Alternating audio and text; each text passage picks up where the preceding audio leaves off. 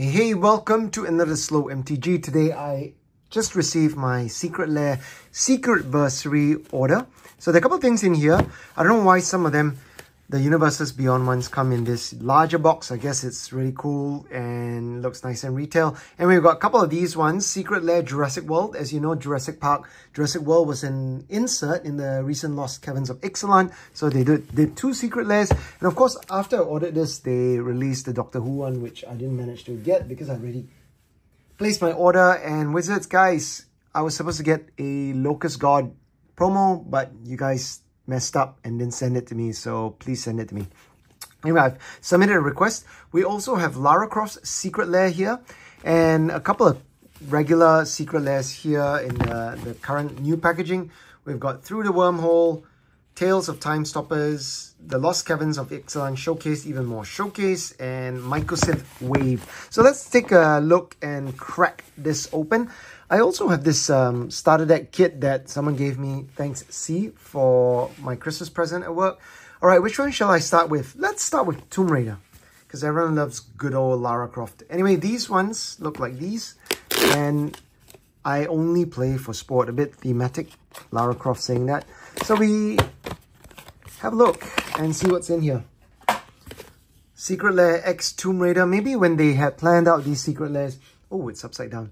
They they did it when and placed the order when it was under the old Secret lairs, Universes Beyond. I'm sure the contracts take some time to push through.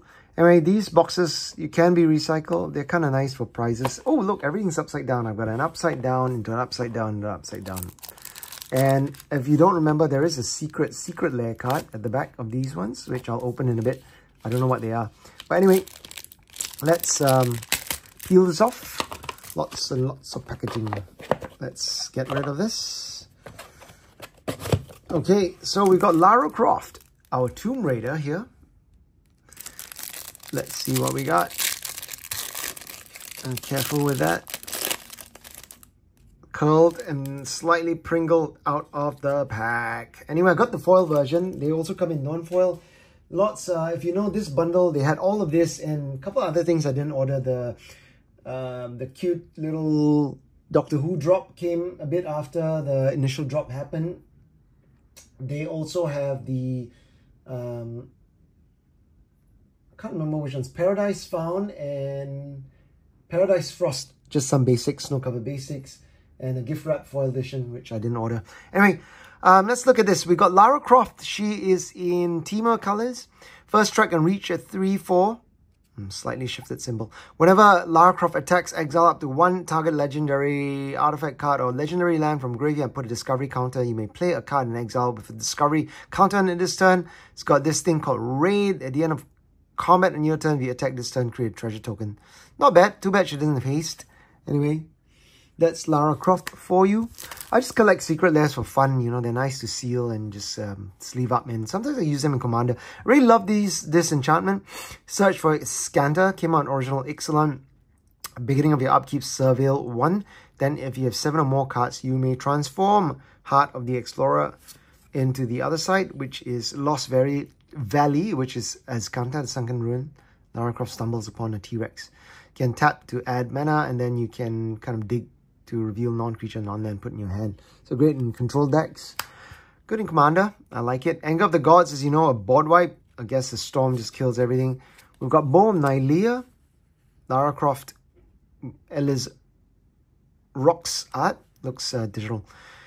Bow, I won't... Um, in these ones, the Universes Beyond, they actually, even though it's Bow of Nylea, they refer to it as the, the card's name. So the Grim Whisper deals 2 damage to target creature flying gives everything Death Touch. So we won't go through that in too much detail. Shadow Spear, this is a nice, real cool reprint. Uh, this sticks up in Commander because of uh, how good it is.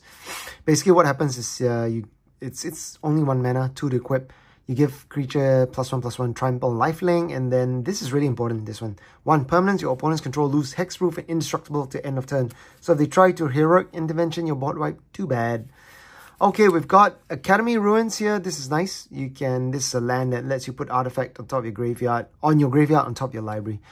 Really thematic. I guess Lara Croft is searching for ruins. And then we've got a treasure token here. quite a few cards in this one. Some of the secret lairs, as you will see, come with three cards. This comes with six. I don't think it was too much more expensive than the others. And let's see the special card, which is Command Tower Croft Manor. So Command Tower, staple, and this is non-foil.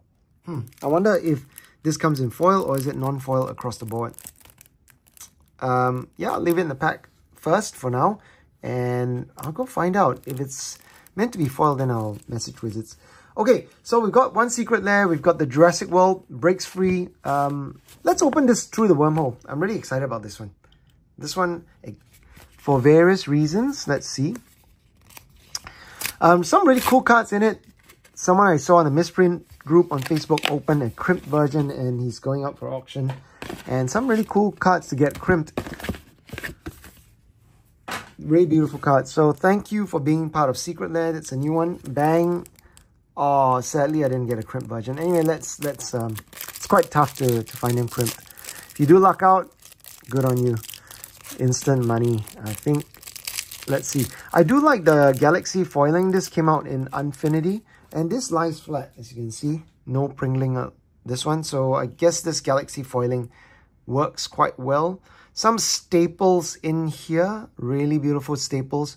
I think this one will appreciate a little bit as people realize that, hey, I really want the most pimp of pimp versions for my deck. So we've got Arcane Signet, Lightning Greaves, um, art by um, a mix of Danny Pendergrast. Sorry if I'm messing up your name. So this Galaxy foiling is really pretty. So we've got really a couple of staples here. We've got Lightning Greaves, of course, a staple in Commander. We've got Soul Ring, another staple, really, really pretty. Got Thought Vessel, also kind of a commander staple. It's like Reliquary Tower on a in artifact. Got Command Tower, again, staple land, Rainbow land, no downside. Uh, we got Sad Robot, not quite a staple. This is the secret lair, the fifth secret lair card. Wish I bought another set of this because these have so many staples that can go into all my other commander decks. So Sad Robot here, as you all know, when ETB search for basic land, put that into battlefield, tap and shuffle. When it dies, you may draw a card. Let me get closer into the, the foiling you can see here. It's not the, the best example, but if you've seen the rest, you can see how really nice it is. There. Okay. Okay, there we go. All right, that's that one. What else have we got?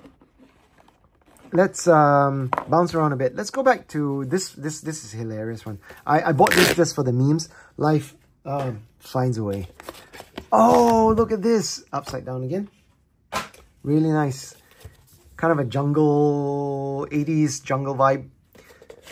Pop colors. Look at all, all the secret lair boxes. They're really nice. So this one is funny because it's got Jeff Goldblum. Uh, the secret funny, the, the secret secret lair card is also quite funny. Let's look at that one. So I'm going to put this aside first. Secret secret lair. Okay, this one is really cool.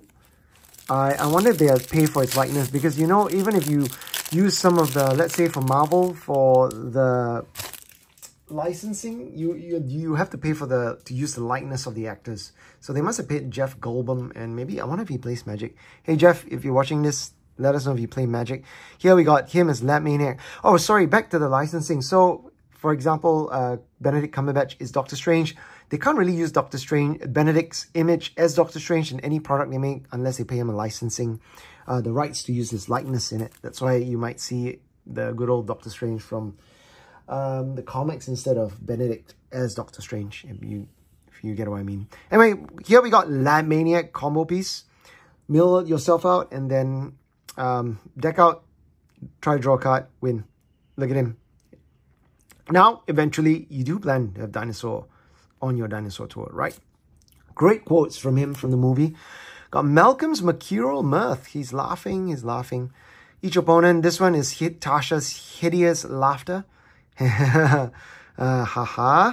And then we got, oh, I love this one. This one, I have to find a, a deck to play it in just for the memes. Ian, Convalescent Charmer, kind of reminds me of The Fly. Anyway, look at him. I'm always on the lookout for a future ex in Mrs. Malcolm. And We've got him as Atla Palani Nest Tender. So Palani, he creates, he's a Goblin Shaman. There, there isn't no flavor text in this one. It's kind of cool. Two tap, create 0-1 defender token. When an egg you control dies, reveal top card of your library until you reveal a creature card. Put that card on the bottom battlefield and the rest on the bottom of your library in any order. And the last card is a dinosaur egg. And finally, the secret secret lair card is actually Chaos Theory, Chaos Warp. Remember his famous quote, its only principle is the butterfly effect. A butterfly can flap its wings in Peking and in Central Park, you get rain instead of sunshine. So big quote from the original um, book as well as the Jurassic Park film. Scale swap, also a staple. Let's put it aside. Okay, since we're on a roll, let's see the other Jurassic World breaks free. Do we get colorful one? Yep. Colorful box. This time it's the right side up. Okay, let us get into this one. This one has got a different treatment altogether. Kind of a, got a secret card as well. So you got T-Rex. T-Rex, let's try to take, this gets a bit sticky. Oh shit. Wow, super sticky. Try not to damage the cards. Ooh, the box is all messed up. Check this out. Is that considered a misprint? Is it mold or is it just yeah, the coloring is off. Anyway, mis anything qualifies for a misprint these days. Okay, so T-Rex. Let's get in. Quick one. I'll go quicker. The foiling is not very foily. So T-Rex here is Etali, the Primal Storm, reprinted like to no end, but still a powerful effect. Whenever it attacks, exile the top card of the library, may cast spells among those without paying the casting cost. We've got Velociraptor. These are really nice cards. This one is Rampaging Ferocidon, 3 mana. Whenever uh, players can't gain life, as you see here. And whenever an, another creature ETBs, it deals 1 damage to the creature's controller. Uh, got Indominus Rex here, which is Polyraptor. This is a much needed reprint for the Dino deck, Velociraptor. That would be really cool. The, the LCI commander deck. Basically what happens is whenever it is dealt damage, create a token as a copy of it. So basically you want to ping yourself with um, other cards and then use it to fight. And oh, I didn't realize the casting cost was 8 and make tokens of it. Got Wayward Swordtooth. This is nice. This is also in the, the Velociraptor deck. Basically, if you have the City's Blessing, you may uh, play additional land on each of your turns, and you can't attack and block unless you have the City's Blessing. That's a Triceratops. We've got Spinosaur. I love these cards. I love dinosaurs. Uh, this one gives uh, Alpha, Regisaur Alpha, whenever ETBs create a 3-3 dinosaur creature of trample and other dinosaur creatures you control of haste. And the Secret Lair secret card is a Brachiosaur, which is Colossal Dreadmaw. And this is a basic uh, staple in draft. It's just the good old vanilla 6 mana, 6-6 with trample. Okay, that's our secret lairs. I got three more. I'll keep going. We've got Tale of the Time Stoppers. Let's see what's in this one. Can never get this to tear properly. See, it breaks off halfway. Okay, thank you again. This one, Tale of the Time Stoppers, is... Let's have a look. Some cool cards in this one as well. That's why I got this one. This one is nice and flat out of the box. Maybe it is the packaging and the way it's printed, who knows. But it's sitting flat. Um, this is about time. So taking extra turns. 8 mana, Beacon of Tomorrow, uh, Mike, Misha, Misha, Huyin, art. Sorcery, target player takes an extra turn after this one, shuffle it. So this is Nexus of Fate, much needed reprint. Uh, it was a buy a box promo from, I want to say M20 and hasn't been reprinted. People are really not happy about that because it was standard playable. But next, wait, hang on a second. Sorry, sorry, this is Nexus of Fate. Take an extra turn after this one, and Nexus of Fate will be put in the graveyard from anywhere. Reveal it, shuffle it. So you, you got into some loops where you could take in turns and uh, keep on going. Uh, this one is the same, kind of. It's 8 mana target player. Uh, this one is just you. So 7 mana, this 8 mana. So Nexus of Fate, definitely stronger. I love these taking turns. You've got Time Reversal. Each player shuffles. This is um, 5 mana Time Twister. Each player shuffles their hand graveyard uh, into their library, then draw 7 cards and exile this. So kind of like a fixed Time Twister. Time Stop, 6 mana. end the turn. So 6 mana, whoops, no, no bueno. And uh, the Secret Lair secret card here is 2 mana, Sylvan Ranger. When Sylvan Ranger is an Elf Scout Ranger, ETB, search a library for basic land, reveal it, put in your hand, then shuffle.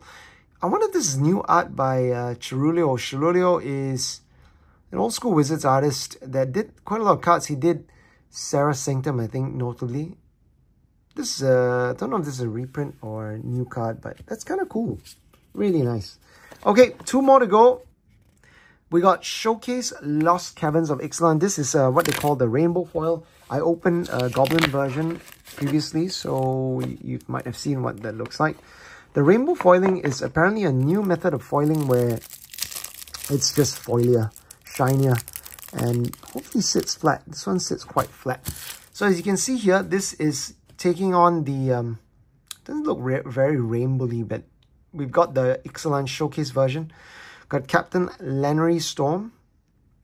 These are all reprints. Got Admiral Beckett Brass, Richard Leong art. Nice one, dude. Pirate Lord. We've got Elenda Dusk Rose by Richard. I can't pronounce your name. But anyway, Lifelink. Go and go through the details. We've got Kumena, Tyrant of Orazca, or, or, Orazca. Orazca also reprinted recently in the Lost Commander of Caverns of Ixalan Commander deck. We got Vona, Butcher of Magan, Pig Hands, and then the... Um, oh, I get it now. So I think uh, the last cycle we had Slivers. Now we've got, as bonus cards, uh, Elves. We're moving the Elves. We've got Elvish Visionary, so I guess this is OG art. Uh, just full art Elves. Going to Typal. That is cool. All right, I'm not sure what else has been open, but it's kind of nice to see something new that's not slivery. Even though I love slivers, my favorite tribe. The tribe everyone loves to hate. Let's see what we got in Mycosynth Wave. Some really cool cards in this one as well. I like the art on this. It's got a kind of 80s video game retro vibe to this one. Whoosh. All right, we've got Mycosynth Golem, affinity for artifacts, artifact creatures you control. You cast have affinity for artifacts 11, so make everything cheaper. Uh, well, Signal Noise is the artist. Mycosynth Lattice, this one didn't have many, many cards in there. There were only three. Maybe it's because they put some big money card here. Mycosynth Lattice, I think it's a $50 card, so worth the price of entry. It's a sideboard staple for Karn, a great creator. All permanent art artifacts in addition to other types, all cards that aren't on the battlefield, spells, and permanents are colors. Everything becomes colors. Players may spend mana as though as any color. Shuts down stuff with uh, card. Kills everything. We've got Micro Mycosynth Wellspring. This one is kind of a combo piece as well. When ETBs are put in your graveyard, search your battlefield for a land card, reveal it, put in your hand and shuffle. Oh wait, not. I'm thinking something else. Another Mycosynth. Sorry, my bad. This is a um, just value to crack in your graveyard. So I think everyone would be buying this for the art and for this Mycosynth Lattice. only three cards in this one. And the secret card is, oh my god, I got another Elvish Visionary. Nice. I'm sure they, they printed stuff uh, that are staples for elf decks. Too bad they can't be cradles. But anyway, that's that. A uh, bit of um, all over the shop opening. I hope you enjoyed the opening and that you do get your Locust card promo. It's got seven days left in this drop. If you spend $200 or more, you get a promo. And during, I think, one of the sales, Black Friday, there was 10% off as well. That's when I got it. Although Wizard screwed it up and they had to refund us the 10%. Anyway, thanks for watching the opening and um, wishing you all the best in your pack openings. Thanks, bye.